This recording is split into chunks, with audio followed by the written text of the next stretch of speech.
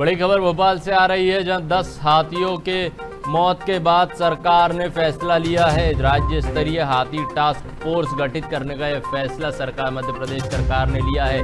आपको बता दें, मध्य प्रदेश सरकार ने 10 हाथियों की मौत के बाद ये फैसला लिया है, जिसके बाद अब राज्य स्तरीय हाथी टास्क फोर्स गठित की जाएगी। फ़ील्ड डायरेक्टर और प्रभारी एसईएफ को निलंबित कर दिया गया है हाथियों की मौत के बाद। गौरव चौधरी और फतेह सिंह निनामा पर कार्यवाही की गई है। ये बता दें आपको बड़ी खबर मध्य प्रदेश से। वन क्षेत्र में निगरानी में लापरवाही बरतने का आरोप इन पर लगाया गया है। वहीं दस हाथियों की मौत के बाद मध्य प्रदेश सरकार ने ये फैसला लिया है। अब राज्य स्तरीय हाथी टास्क फोर्स गठित की जाएगी। फ़ील्ड डायरेक्टर और प्रभारी एस को निलंबित कर दिया गया है। गौरव चौधरी और फतेह सिंह निनामा पर कार्रवाई की गई है।